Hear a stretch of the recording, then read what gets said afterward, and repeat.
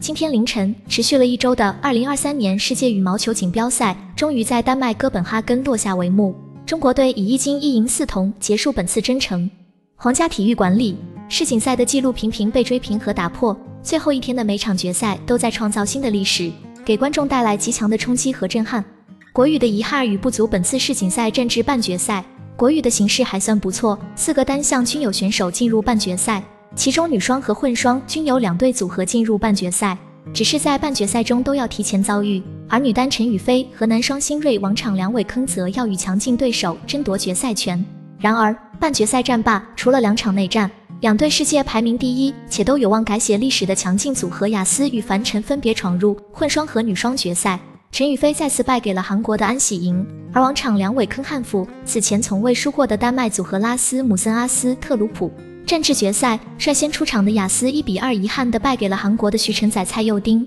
国羽最后的夺金希望便落在了之后出场的樊晨身上。说实话，在看到拉哈尤西蒂这对以老带新的印尼组合连续将两三五号种子淘汰出局，闯入女双决赛后，很难不为樊晨捏一把汗。尤其在雅思惜败后，作为国羽最后夺金点的樊晨，肩负的压力之大可想而知。然而，樊晨不愧为世界排名第一、三届世锦赛冠军。加之久经沙场的他们愈发成熟，懂得如何将压力更好的转换为动力。站在决赛场上的他们，可以保持稳定的心态，尽情释放自己的激情与能量。直落两局，樊晨战胜了对手，第四次摘得世锦赛女双桂冠，并就此超越了前辈，成为世界羽坛第一对世锦赛女双四冠王。纵观本届世锦赛，国羽最后仅收获一金，成绩难言理想。究其原因，客观上讲，这一次中国队的签运不佳。尤其女单和混双都出现主力选手被抽在同一半区，甚至四分之一区的现象。而从比赛过程看，此次国羽的主力选手整体状态一般，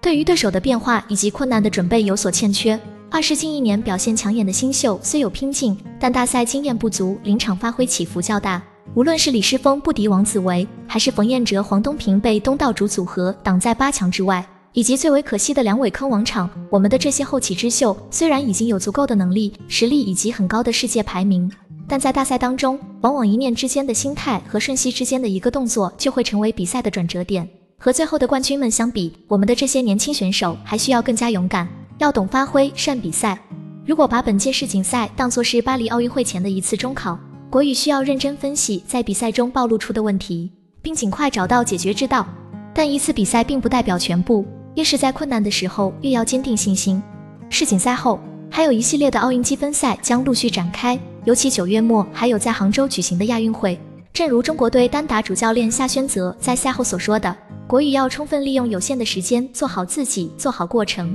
向着最高峰冲击的过程，势必会困难重重。国羽唯有进一步提升斗志与士气，去迎接接下来的每一分和每一场比赛。零零后正在成为大势所趋，本届世锦赛。最后的男单与女单冠军都属于零零后。回望这两位新科世锦赛冠军的登顶之路，他们的夺冠绝非冷门。比如安喜莹，她在短短大半年内迅速蜕变，今年已狂揽七冠，排名高居第一，此番问鼎女单属于大热登顶。昆拉武特去年就已经闯入世锦赛决赛，今年更是在群雄争霸的格局中冲杀出来。近两年来，一大批零零后选手正在不断的脱颖而出。二零二一年维尔瓦世锦赛时，零零后选手夺得一铜；二零二二年东京世锦赛，他们收获一银二铜。到了今年世锦赛，他们直接跳升至两金二银三铜，且五个单项领奖台上都有他们的身影。事实证明，当今的世界羽坛，零零后们正在成为大势所趋。本届世锦赛上，不仅夺冠的安喜莹与昆拉武特让人惊艳，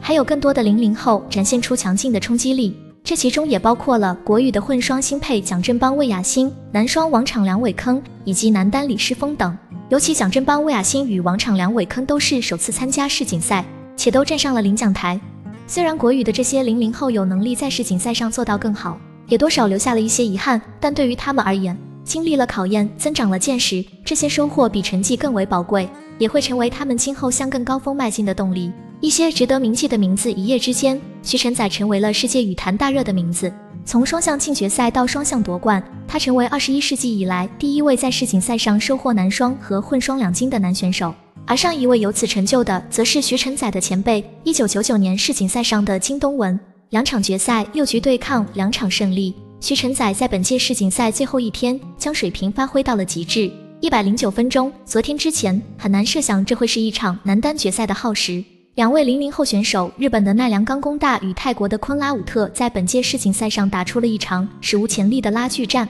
期间还出现了几次昆拉武特因救球而擦伤手指与大腿，血染赛场的场景。就观赏性而言，这场充斥着大量训练式的多拍拉扯的比赛难言精彩。但两位零零后在场上所表现出的超乎年龄的耐心与韧劲，却足以成为世界羽坛一段值得铭记的回忆。本届世锦赛前，鲜少有人会看好两次遭遇重大伤病又两次回归的西班牙人马林。这位昔日女单三冠王，在当今女单炙手可热的 TOP 四的光环之下，已然有些褪色。但是，当马林连胜戴资颖、山口茜闯入决赛后，我们再一次见证了什么叫强者归来。时隔五年，已经三十岁的马林再次闯入了女单决赛。虽然最后败给了如日中天的零零后安喜莹，但他已经强有力的证明，他依然是一名不容小视的竞争者。本届世锦赛在童话国度落幕了，胜利的喜悦、失败的落寞等，在每一次比赛中都会出现的情绪，再次成为过往，留下的是精彩，唤起是对于下一站的期待。再见，哥本哈根。